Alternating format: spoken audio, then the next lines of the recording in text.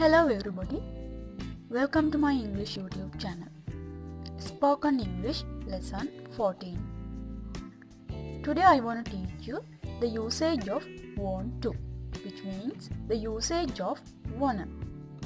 Let's talk about it. ඉතින් අද මං ඔයාලට කියල දෙන්නේ යම් දෙයක් කරන්න අවශ්‍යයි. එහෙමත් නැත්තම් යම් දෙයක් කරන්න ඕන. යන්න ප්‍රකාශ කිරීම පිළිබඳව ඉංග්‍රීසි වාක්‍ය උඩන ගනාකාරය සම්බන්ධවයි. ඉතින් අපි බලමු කොහොමද මේ වාක්‍ය නිර්මාණය වෙන්න කියලා. මට ගෙදර යන්න ඕන. I want to go home. I want to go home. යම් දෙයක් කරන්න ඕන. යන්න අර්ථවත් කරන වාක්‍ය නිර්මාණය කරන්න තමයි අපි want to යන්න භාවිතා කරන්න.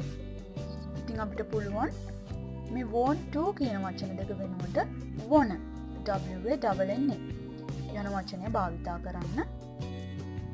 මට ගෙදර යන්න ඕන.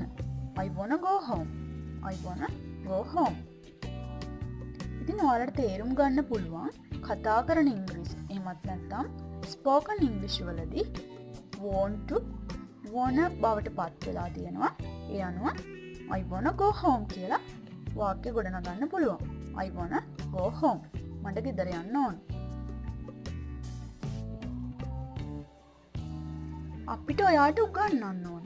වීවෝන්ට ටීචු වීවෝන්ට ටීචු මෙතනදෙත් අපිට පුළුවන් බෝන්ට වෙනුවට වොන යන්න භාවිතා කරන්න.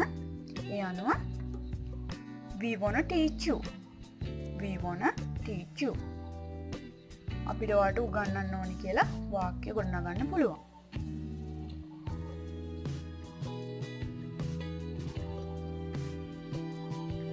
ඔයාට ඒටම විකුණන්න ඕන. You want to sell that land? You want to sell that land? ඉතින් පෙර පරිදිම අපිට පුළුවන් බෝන්ටු ඕන බවට පත් කරගන්න. ඒ අනුව you wanna sell that land? You wanna sell that land? ඉතින් මමාදවාලට සරලව කියල දෙන්න. ප්‍රක්ටිසින් ඉංගලිෂ් සඳහා අත්‍යවශ්‍ය වන ඉංග්‍රිසි පාඩමක්. මේ වගේ සරලව ඉංග්‍රීසි ගන ගන්න ඔයාලට පුළුවන්. ඒවගේම මගේ පරණ වීඩියෝස් පරණ ලෙසන් සොවාලට බලන්න පුළුවන්. සබස්ක්‍රයිබ් කරන්න. Speak English with Hasini Ranaweera by ෆොනව්